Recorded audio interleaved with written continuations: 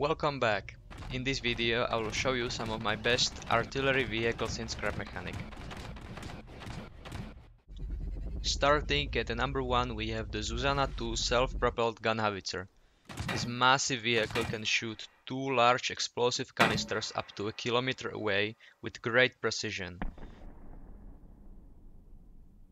It's capable of destroying any target. Especially things like bunkers, tanks or buildings. It can also protect itself with a machine gun on its roof.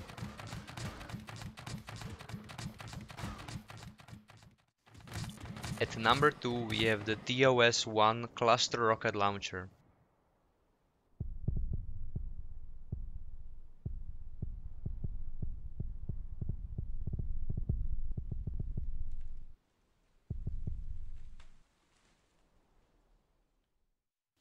This vehicle has four rockets which can carry four explosives each, which means that one rocket launcher can shoot 16 explosives alone. Since it only has 4 rockets, it can be reloaded in just 10 seconds, which means that you can shoot up to 96 explosives in 1 minute.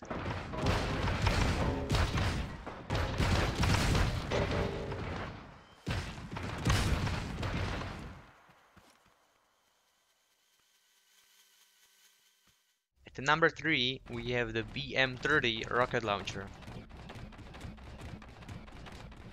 This vehicle is in my opinion worst out of the three because it doesn't have the range of Zuzana nor the damage of the TOS-1.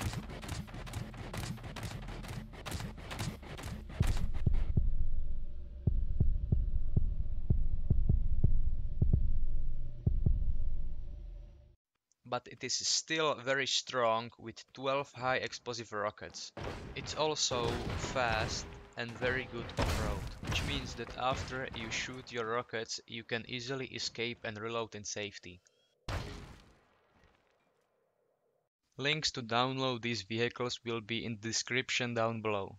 Don't forget to subscribe for more Scrap Mechanic content and leave any video suggestions in the comments down below. That's it for today. See ya.